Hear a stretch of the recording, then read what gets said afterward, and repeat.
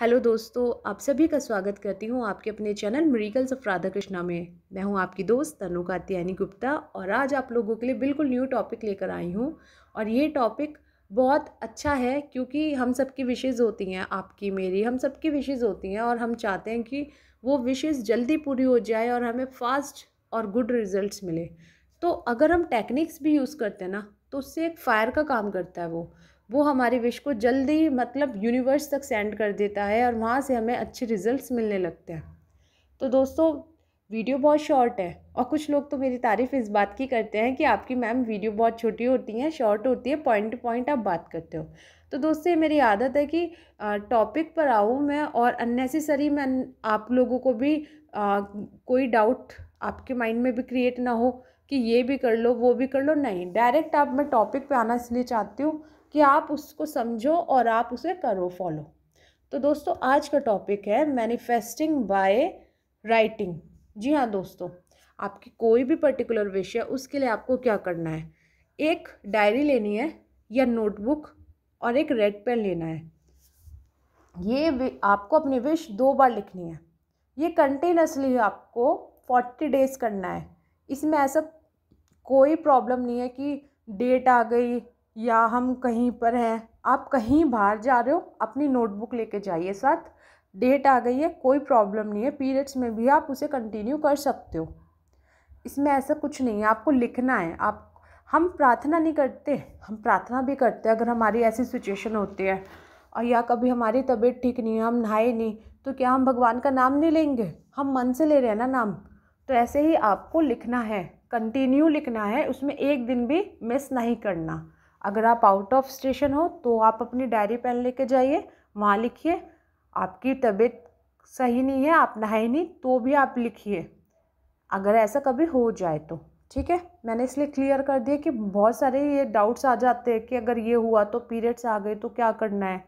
तो दोस्तों, आपको रोज़ाना मॉर्निंग में सुबह उठने के बाद सब, अपने पास ही रखिएगा डायरी और पेन सुबह उठते ही फ्रेश मूड में आपको अपनी विश लिखनी है। आपकी अगर रिलेशनशिप में प्रॉब्लम है तो आपको ये लिखना है कि मेरा रिलेशन अच्छा हो गया है। थैंक यू यूनिवर्स आप थैंक यू लिख सकते हो चाहो तो।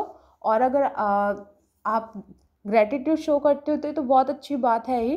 बट एक स्माइल होना चाहिए फील होना चाहिए उसमें कि हाँ आपने वो फील करा कि रियल में वो चीज़ हो गई it is happening to you तो वो आपको फील करके अगर कोई भी आपके विषय उसके लिए अगर आप लिखते हैं तो आपको अच्छा रिज़ल्ट मिलेगा।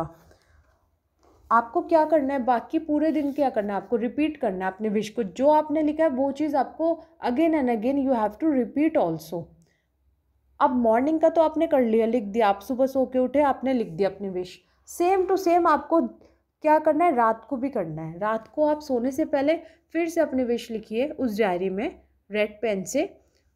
और थैंक यू बोलिए यूनिवर्स को। मैंने तो थैंक यू बोला इसलिए कि अगर आप ग्रेटिट्यूड शो कर देंगे ना तो वो एक इन्हेंस कर देगा आपकी प्रार्थना को, आपकी विश को। आपकी मतलब आपने शो कर दिया कि भगवान धन्यवाद, आपने मेरी ये विश पूरी कर दी। क्योंकि सुपर नेचुरल पावर को अगर आप धन्यवाद देते हैं, अगर हम भगवान के सामने झुकते हैं, उनकी कृपा हमें चाहिए तो हमें कहना तो पड़ेगा। थैंक यू तो बनता है ना बोलना। तो आप ग्रेटिट्यूड शो कर दीजिए। उसमें लिखिए कि मेरा रिलेशन अच्छा हो गया है और आप अपने पार्टनर का नाम भी लिख सकते हो। सेकेंड थिंग है कि अगर आप किसी को चाहते हो अपनी लाइफ में लाइक लेके आना, ये हर तरह की विश के लिए है। ठीक है, ऐसा कोई पर्टिकुलर नहीं है कि हिस्स ओनली फॉर रिलेशन आप जॉब है करियर है वॉट आप हर तरह की विश के लिए अगर आपको एक घर अट्रैक्ट करना है, एक अपने हाउस ड्रीम हाउस चाहते हैं तो आप उसके लिए भी कर सकते हो।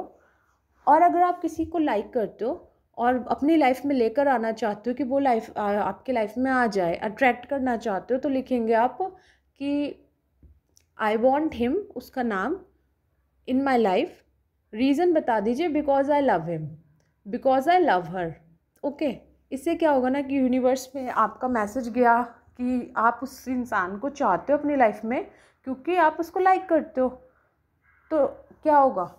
उससे जो बार बार आप रिपीट करोगे ना अच्छा सा फील करोगे ना तो वही चीज़ आपके सामने आएगी, वो इंसान आएगा और वो चीज़ होने लगेगी आपके लाइफ में। और पूरे दिन जब भी आपको मौका मिलता है, आप रिपीट कर लीजिए वो चीज़ अपने विश को बोलिए। रात को सोने से पहले आप ये करेंगे, सुबह उठते करेंगे, फिर देखिएगा।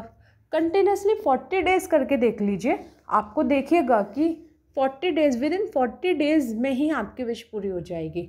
मैं दोस्तों कभी ये नहीं कहते कि आपको चौबीस घंटे में रिज़ल्ट मिल जाएँगे, क्योंकि कई बार नहीं होता। और अगर हम बोलें और ना हुआ तो तो आप ऐसा काम तो कीजिए ना मतलब अपना एफ़र्ट तो डालिए उसमें एफ़र्ट तो करिए। अगर हम एफ़र्ट ही नहीं कर रहे, सिर्फ़ चौबीस घंटे में अगर सबकी विशेष पूरी होने लगी तो दुनिया में कोई भी इंसान दुखी नहीं रहेगा। इसलिए थोड़ा सोचना चाहिए कि कुछ लोग कह देते हैं कि चौबीस घंटे में विश पूरी, चमत्कार। मैं इतना इतना सुपरस्टिशियस बातों पे नहीं बिलीव करती और मैं मानती नहीं हूँ। एफ़र्ट के बिना कुछ नहीं है, करना ही पड़ेगा। ठीक है दोस्तों? तो ये सिंपल सी है। अगर आप इसे करेंगे फोर्टी डेज़ आपकी विश ज़रूर ज़रूर ज़रूर पूरी होगी। आज के लिए इतना ही। जल्दी लाऊँगी एक न्यू टॉपिक आप लोगों के लिए stay safe and stay blessed bye bye